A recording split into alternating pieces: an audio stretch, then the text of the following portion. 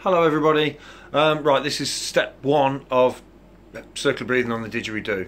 Right, so it's it's quite awkward, but you get it. It's just a bit of practice. Um, I, am going to show you the steps that I was taught from uh, Didgeridoo Dojo. I'd advise if you're learning out, you're starting, you know, you're self-teaching yourself on the didgeridoo. I would advise to, to sign up for at least a month's membership because it gives you structure on everything. It's, it's it helps. Right, okay. So step one circular breathing like what is circular breathing? Okay so it's the constant drone so it's no air coming through up your nose and down your throat whilst you've got a mouthful of air. You can't breathe in and out from your lungs. I've tried it just doesn't work. That's a physical impossibility. So the first step is i want everybody to just fill your cheeks up with air. So it's we can all do that. That's that's pretty simple straightforward. So breathe it out and then when you when you're when you're breathing out just pop it. So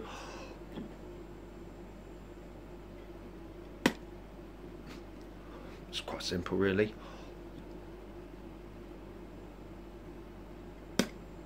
Okay, so we can all do that. Or another way to do it is to hold it there and just push out with the, the, things. You're not blowing air. When you're breathing, you're not blowing it from your lungs. You're just holding air in your mouth and breathing and pushing that out. That's all you're doing whilst you're breathing in through your nose.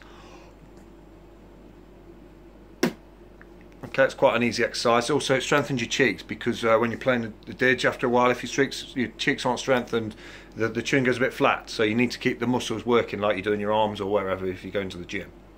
Okay, so that's the first one. Do that for a while until you feel comfortable. I mean, you'll feel your cheeks, your muscles, they will stretch, they'll feel a bit achy. That's fine. That's you know that's that's part of them building up. Um, so the second part is breathing at the same time. So fill your cheeks full of air and then breathe at the back. So we can all breathe.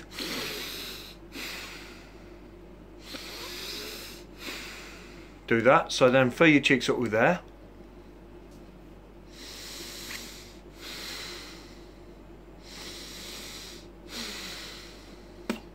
That, that's pretty much simple as it is and that's the fundamental rule of it so you've, you've got that in your air now we need to just pop it out as well so you've got it all filled with your cheeks and what we'll do is on the third one just pop it out. So do that pop box. Um, it's, it's, actually called the breathe and pop. That's what um, I was taught. So we'll do. I'll count with with three. Count it.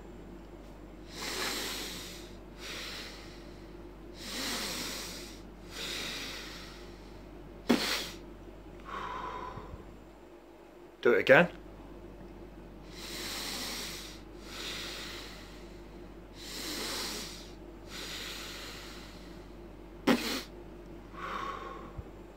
And that's it just keep doing that. And you you start to feel it work and it'll become a bit more natural. So um well I was taught do everything a thousand times all around and then that that's it. Then you've got it you know it's muscle memory so you need to get your body and your muscles working it just as you do when you do any sort of sport or activity. And um, yeah okay and I'll join you for the second one soon enough. Okay bye bye